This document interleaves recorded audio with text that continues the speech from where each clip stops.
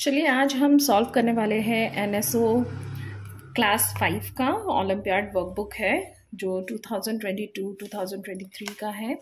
और इसमें हम कंटेंट्स देख लेते हैं कंटेंट्स कौन कौन सा आने वाला है। तो animals human body and health plant natural resources and Indian heritage pollution and calamities earth and universe matter and materials and force and energy और लॉजिकल रीजनिंग है यहाँ पे कुछ और आपको यहाँ पे एक्सप्लेनेशंस भी दी गई है और 2021 में जो पेपर आया था उसका सैंपल पेपर भी दिया गया है आपको। तो हम वन बाय वन चैप्टर हर दिन सॉल्व करेंगे। सो so, आपको अगर इससे सॉल्व करने के बाद भी अगर इसमें कोई डाउट रह जाती है तो do comment me in the comment section ताकि मैं आपको उसका आंसर्स दे सकूँ। तो हम चैप्टर वन एनिमल्स से स्टार्ट करेंगे जिसमें एनिमल्स के हैबिटेंट के बारे में ईटिंग हैबिट्स के बारे में movement in animals adaptation body covering breathing method और माइग्रेशन अमंग एनिमल माइग्रेशन मतलब जो एनिमल्स यहाँ से वहाँ जाते हैं इन सर्च ऑफ़ फ़ूड और क्लाइमेट uh, कंडीशंस की वजह से उससे रिलेटेड हम क्वेश्चन uh, इसमें सॉल्व करने वाले हैं. तो यहाँ पे है baby X Baby X breathe through its gill, whereas adult X breathe through its lung on the land. तो then X could be X क्या हो सकता है? एक्स मान लीजिए जो भी एनिमल है वो जब वाटर में है तो वो गिल से ब्रीथ कर रहा है और जब वो लैंड पे आया है तो वो लंग्स से ब्रीथ कर रहा है। ठीक है?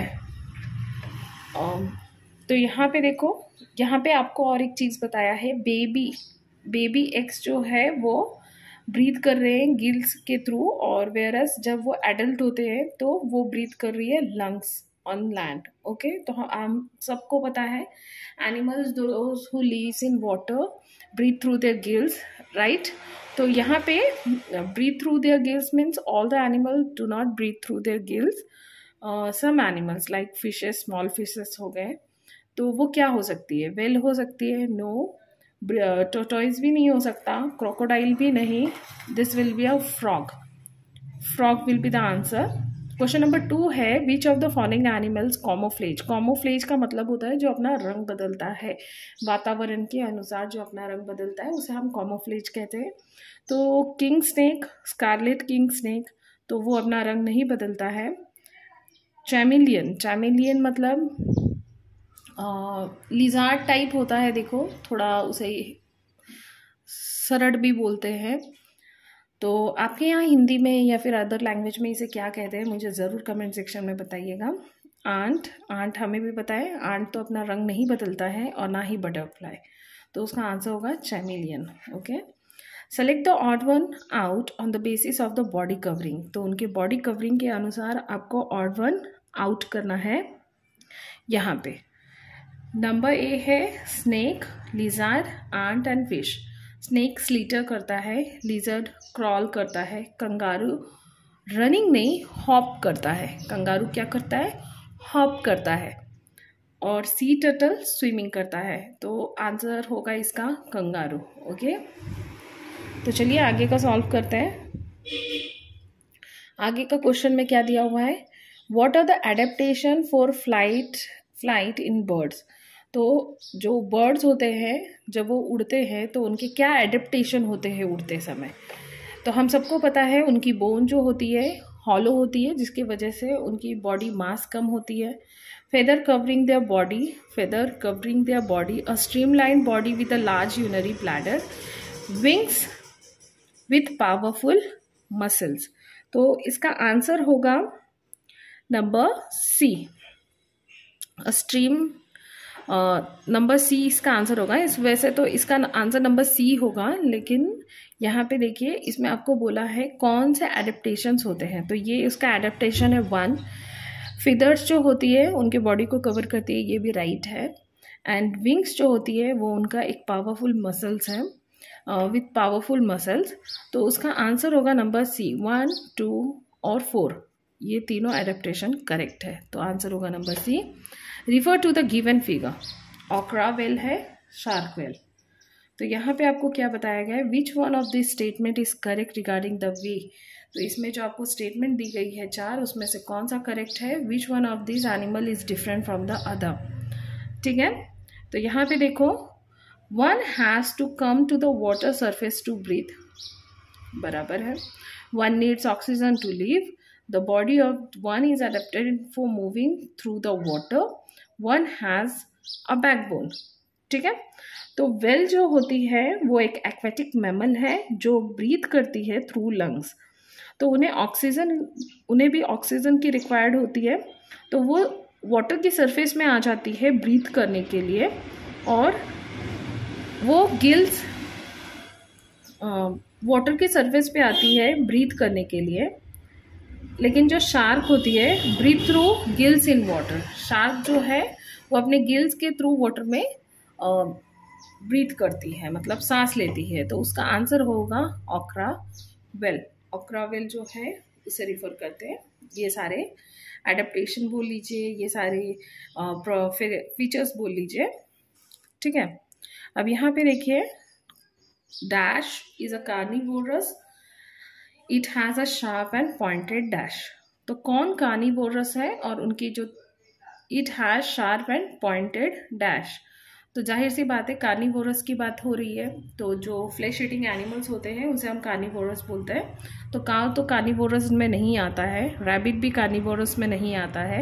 अब बचे लायन एंड टाइगर तो इसका सही आंसर होगा नंबर सी टाइगर क्यों? क्योंकि उनकी पॉइंटेंट कैनाइंस होते हैं जिसके वजह से वो फ्लैश को टीयर कर सकते हैं मतलब आ, फाड़ सकते हैं। तो इसका सही आंसर होगा नंबर सी तो चलिए नेक्स्ट पेज पे जाते हैं। अब यहाँ पे देखिए question number eight which of the following statement is correct कौन सा स्टेटमेंट करेक्ट है इसमें? हमें ये बताना है। ठीक है? तो सबको हम ठीक से पढ़ लेंगे। तो यहाँ पे देखिए arctic tern travel from from its breeding ground in the antarctic to arctic in summer arctic terns जो होते हैं, वो ट्रैवल करते हैं कहाँ से? Arctic to antarctic to arctic summer के टाइम में। Monarch butterfly travel from Canada to Mexico during the winter season जो बटरफ्लाई होती है मोनार्च बटरफ्लाई जो है, वो कनाडा से मॉस्क्यू तक ट्रैवल मैक्सिको तक ट्रैवल करती है विंटर सीज़न में। Salmon swim long distance to reach sea to lay eggs तो सैलमन फ़िश जो होती है, वो अंडे देने के लिए लॉन्ग डिस्टेंस तक ट्रैवल करती है। Siberian crane come to India during winter Siberian crane जो है, वो विंटर में विंटर में इंडिया की तरफ़ आती है। तो इसका सही आंसर कौन सा होगा? तो इसका सही आंसर होगा number B number B will be the right answer okay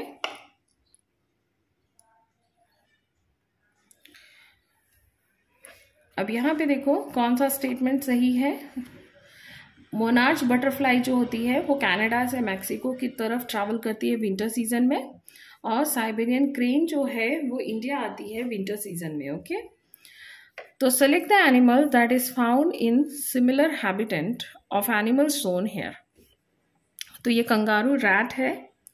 kangaroo rat जो है, इसमें बोला गया है, ये जो एनिमल दिखाया गया है, वो दूसरे एनिमल के साथ कौन से सिमिलर हैबिटेंट में रहते हैं, वो हमें बताना है।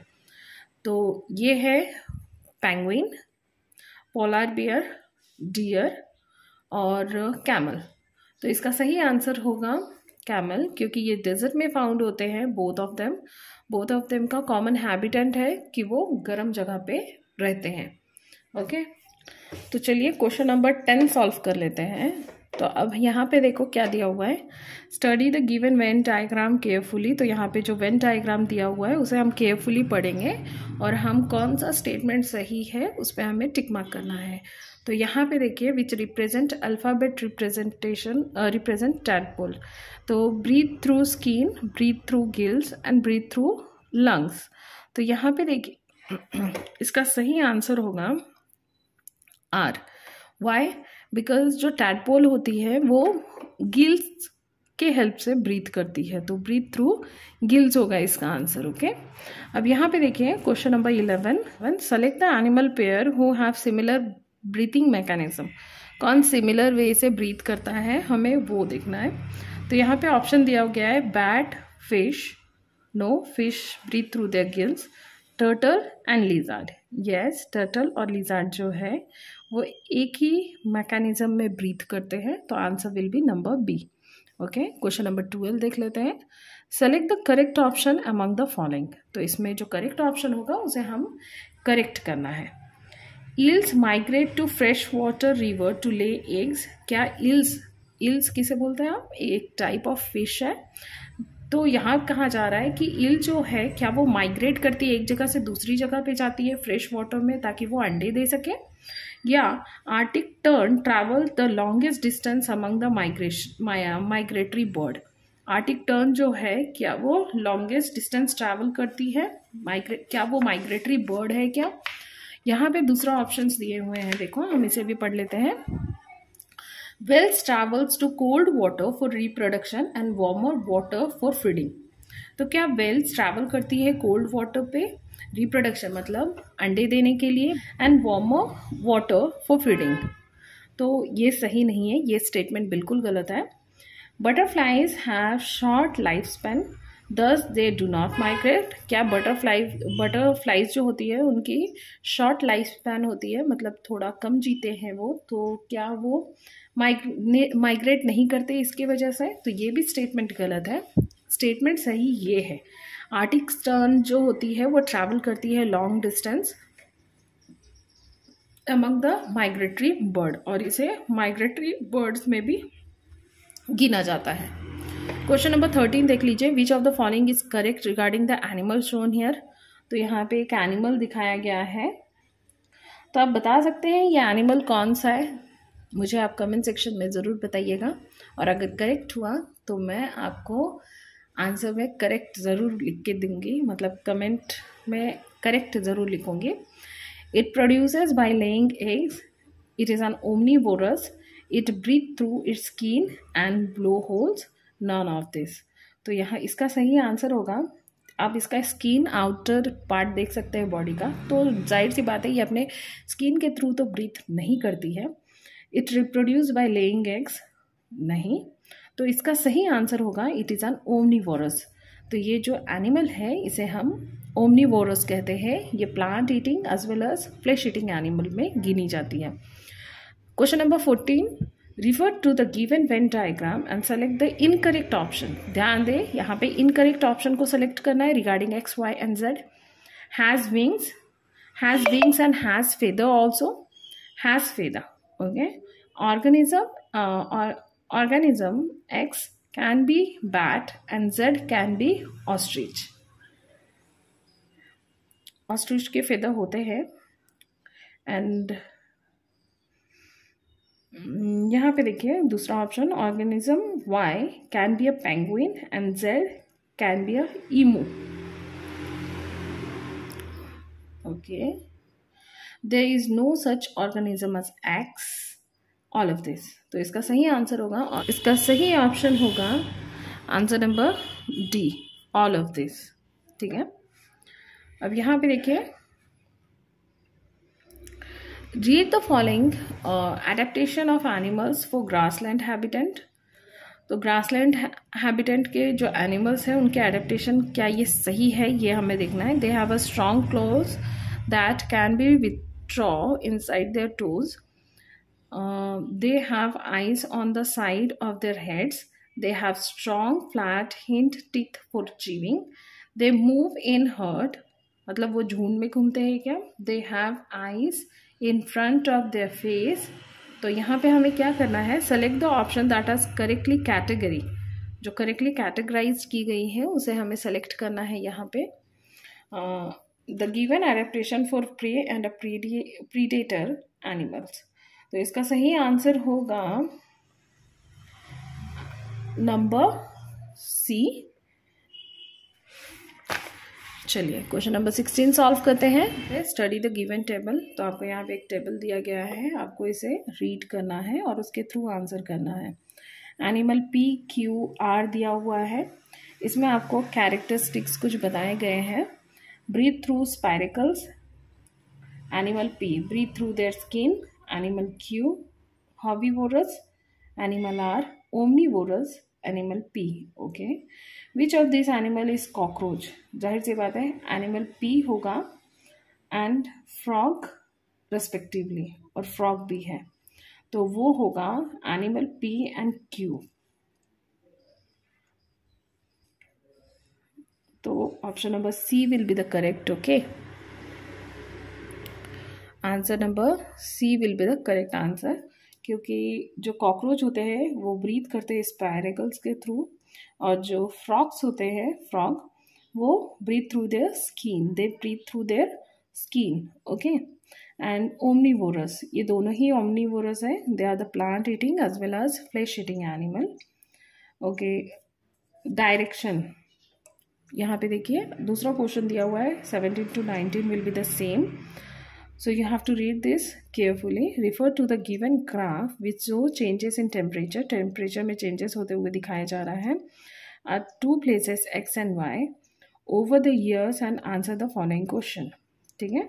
तो ये टेम्परेचर में बदलाव होते हुए दिखाया जा रहा है दो जगह का। पहला है एक्स दूसरा है Y okay the animal found at the X place the animal found at the place x should be having adaptation for reducing sweating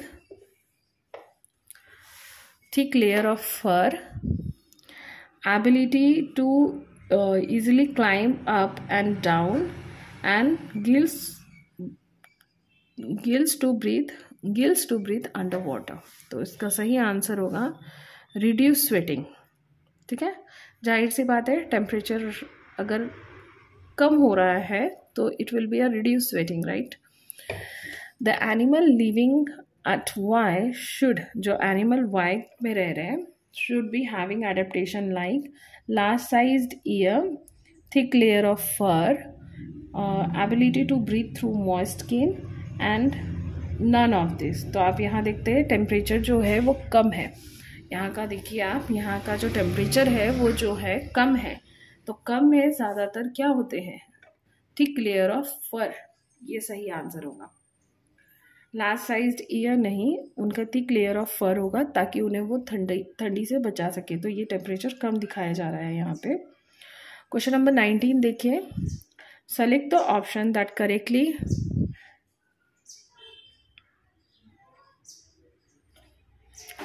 question number question number nineteen देखिए। Option select the option that correctly identify the animals that may live are this places तो यहाँ है rattle snake scorpio right arctic hare snowy owl rattle snake walrus and penguin camel तो इसका सही answer क्या होगा? सही आंसर होगा नंबर सी तो जहाँ पे टेम्परेचर बहुत हाई होता है, वहाँ पे रेटल स्नैक्स बहुत ईजिली फाइंड आउट कर सकते हैं हम।